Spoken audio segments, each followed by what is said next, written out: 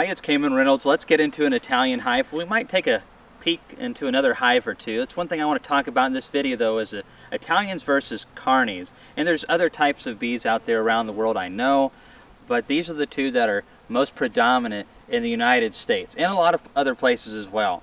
So let's go over here and take a peek and we'll talk about that more. This hive that we're going into is mostly Italian. And more and more I've been cycling the Italians out, going more towards Carney and there's advantages to both. Let's check into this little insulated hive. Oh, I glued it down a little bit. Look at all those bees right there. That's really nice looking. I'm to smoke them down and that's a nice looking little cluster of bees. We are on the 20th of November. So that, that little hive looks really good. Um, I need to get it off to that location just so it's easier to mow and stuff, but it's been there all year long, been doing great. So we're going to get into this hive right here. It's got a lot of activity. It's been requeened this year. It's got a 2020 queen. And we've got mostly carnies in this yard. The reason I've been switching over to that is because they're more frugal. For those of you who have watched my videos a lot, we deal with a lot of um, dearth periods in summer. Um, some people find that hard to believe, but we do. In my area, there's just uh, not a whole lot of diverse pollens. What little is coming in is not the most nutritional for the bees, nutritious. And then if it's a really dry year, a poor year, it's, it's even less so. And so I am trying to find a bee that is more sensitive and more frugal with what they have. And Italians are really known for keeping bigger populations but also eating tons and tons of food. This is really good if you want to sell a lot of bees. This is really good if you're needing to go to almonds early in, in the, the year, like in February, to pollinate the almond trees and whatnot. But if you're an average beekeeper and you're more concerned about frugality, carnies tend to be a better option, though they're not perfect either. So let's uh, get into this hive right here. Let's just kind of check the top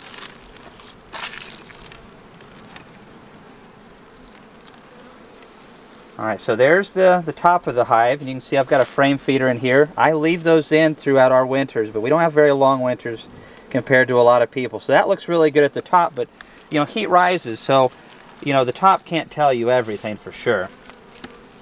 So let's go ahead and drop down. Let's see if they have any brood. Um, that's another thing I'm anxious to see. How much brood do we have? Because there's a very short window here in Tennessee where there's no brood. On a mild year, it's really hard to get, especially on the big colonies like this. And when we do our oxalic acid vapor, we want no brood at all. Oh yeah, lots of weight. That's great. Woo! Alright, so you can see all these bees right here. There's not a ton of bees down in this bottom box though. So we might put that other one on and actually look for bees in that one. This is all just uh, empty combs and some people are like, well, why don't you just remove this one and leave this box? Because I promise you that's where the queen's at, heat's rising, all that kind of stuff. Why do they need two boxes? Well, one, I, I see it as a way of storage. Because if I have to yank a box off of every one of these and I've got to store that, I've got to handle that, one's pulling it off, one's putting it on, protect it from mice and all that kind of stuff, wax moths. I'm not interested in that um, we're, we have a very short period. It's November. These bees are going to be rocking these boxes, especially a good colony like this, in February. So that's not very far away, really. Now, I accidentally crushed a bee over here, and it's very unfortunate. But look at this. Look how there's this yellow stuff coming out of its guts. That's a that's protein. That's a that's good. I've actually been seeing some pollen come in today which is surprising. No big baskets. There's a little bit of brood on the top part of this frame. So not a very, oh, my goodness, well, there's the queen right there, folks. So don't listen to anything that I say. I thought for sure, sure she'd be in the top box, but sometimes they'll stay down for a while. She's laying not a whole lot in here, but there's some. Got that nice blue dot. You can definitely tell she looks Italian. And you can tell by this population of bees, whoops, that she's Italian. There's a fuzzy new bee right there. That's exactly what we need going into winter. That one bee doesn't like me very much. I don't know why. I'm a really nice guy. Isn't that right, Laurel? What are you shaking your head no for? Don't do that. Alright, so we're going to just check this frame right here. And then I'm going to check the top box and kind of see if she's laid any brood up there and she's just dropped back down in here. I don't see hardly any brood on this. She's laying a little bit, but there's a good chance that won't actually turn into anything because they'll just cannibalize it. So, you know, there's a decent bit of bees over here. Not a whole lot of foodstuffs. Just a little bit in the corners. It's amazing how much more Italian hives will eat, but yeah, there's pretty decent bee coverage on this frame right here, um, considering it's got two boxes. I would say if you added all these bees together and compressed them onto um, frames of a really nice tight, cluster, I would say we're probably looking about six frames of bees down here. That's, uh, that's nice. So let's get this queen back down here safely. And let's uh, smoke those bees down. It's looking good. Here we go again. Oh, fun every time. Whew. Ah. Alright, let's check this top box and see what's happening up here. Maybe we'll have a little bit of brood. And one of the things that I see a lot with the Italian colonies is, you know, they just burn through so much resources. And it's, it's really throwing me off because most of my bees are carnies now, are very heavily influenced carny.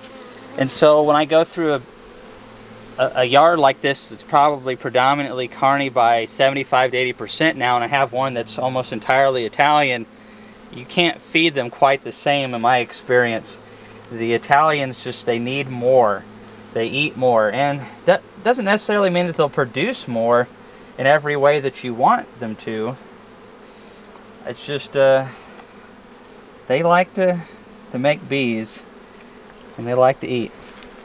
What in the world? That queen's already come up here? That queen's moving like crazy. So I smoked him down specifically so that she would stay down in that frame so we won't have to worry about crushing her. And look how she's already made her way up here.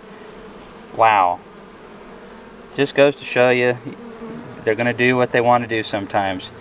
But there's a, decent bit of bees up here. Look at all those nice, healthy looking bees. I haven't spotted a varroa mite yet. I would like to see a little bit more food up in here. Not a whole lot of brood. That's good. That's really good. Well, another frame. I have to watch out on that queen, make sure I don't crush her.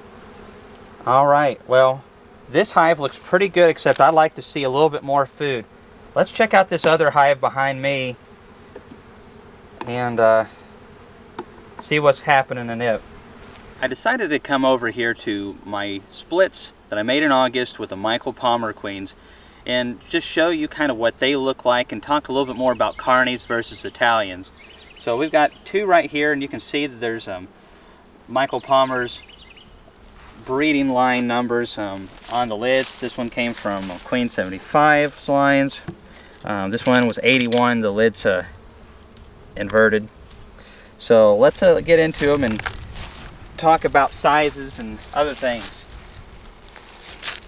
All right, so you can see these uh, double bubble things here. Look at you know how few bees there are in comparison. I, I smoked them a little bit first Bees don't like these uh, things ripping off, let me tell you.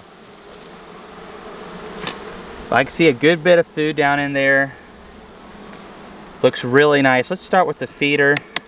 As you can see, there's not near as many bees in these hives, and they were a lot stronger a month or so ago, but they, they let their population um, go down more than the Italians do. They don't brood as late into the season. I don't know fully why the, the carnies do everything that they do. I'm not sure anybody does.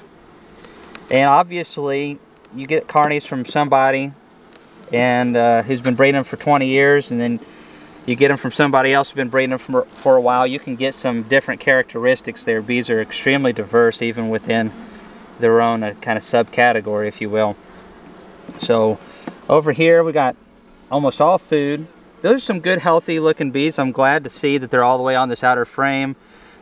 Notice that there's very little yellow in these bees. There is a little bit in a few of them. Most of them are more of a dull gold and gray black. And uh, you see a couple every now and then that look like that. Makes you wonder if it's the diversity in the queen or if it's just a couple that are straying from the other hives I'm coming on over here and just drifting in for whatever reason. Um, probably some diversity in the lines, I'd say. You can you notice again that this doesn't have near as many bees, and I'm not concerned about that at all. One, we made these splits later, which is part of it, but since they're so carny, they just don't keep as big of a population. They don't burn through their food near as much, but they do build up well in spring, and as long as they have a good queen, a, a nice little cluster that's clean, um, doesn't have high populations of mites or any type of chalk brood or brood problems or anything like that. And uh, they have good nutrition, which right now they have plenty of food, and hopefully we'll have a nice, gentle um, ease out of winter, get some nice maple pollen, some dandelion and henbit and dead nettle and all that. Nice, nice bit of bees here. That's, that's really what I want to see right there. A lot of foodstuffs, th this is really great. I think this hive is going to do some great things for us coming out of winter. And they get that pollen going in. We'll give them some pollen patties to smooth things out. And I'm really excited now. This is not a good honey yard for us. So right now this is just kind of a holding yard. Uh, more and more as time goes on, this becomes a mating yard. It becomes a split holding yard. Um, it's definitely going the way of the dodo when it comes to honey production here. This yard's just too too poor to keep honey production colonies over here. I'm seeing no brood so far, just food stores, food stores, and that's fine. They look healthy. And again, we're at the 20th of November. But even that Italian hive over there had very little in the way of brood, so I would say here in the next week or two, would be a great time for Tennesseans to start pulling out those oxalic acid vapor units and hammering those mites into oblivion. And I'm going to do it twice on everything. I'll do it about a week apart, and I'm going to get them good. Well, I say that about the brood, and here we go. That's a nice little cluster of brood for this time of the year. Nice and uniform make a little bit more winter bees, but I'm really liking what I'm seeing food-wise and everything here. Oh, there's the queen right there, the little blue dot over in that direction. Some of this brood is just being capped today. Fascinating. Let's go one more frame over and see if we have any brood over there. But I've had good success with Italians, great success actually. But I just think overall, I'm, of course, thinking and knowing are two very different things. But I'm thinking, and I think I'm starting to know, that carnies are better for me just because on those stressful times of the year, they seem to weather it better than the Italians. Not that we have crazy hard winters, but we have you know, major fluctuations. Also, we have that dearth that really goes from middle of June to the middle of August, and if it's a very dry summer, then it'll go much longer and all the way into September. And I just feel again that these bees are a little bit more resilient when it comes to those things, just because they're more conservative. So let's see if we have any brood on this frame of any amount. Um, not really. So they're really just focused. I'm not even seeing any eggs down in the available space. You can just see all this capped honey up here. So there's really just that little patch that is probably the size of a small salad plate on both sides of that one frame and uh, that's that's all it is. So very interesting, but it looks like there's bees all the way out to here and even a few on the edge.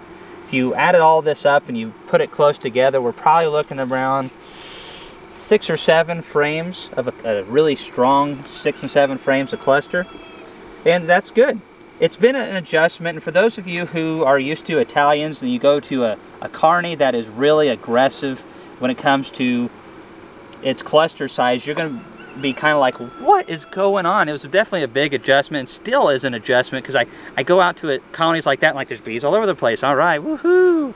And then I come over to these that are more carnies and I'm just like, wow, they just really shrank back. Are they going to be all right? But no, this colony is in great shape. This is exactly what I want to see out of this colony right now. And I'm anxious to see this exact colony come about oh, middle February. We're just going to leave this in here. Oh, if I can get it in. It's really tight squeeze. There we go. Anyways, if you have any questions about carnies or Italians, leave them below and maybe I'll know. I'm still thinking about it. See you in the next video.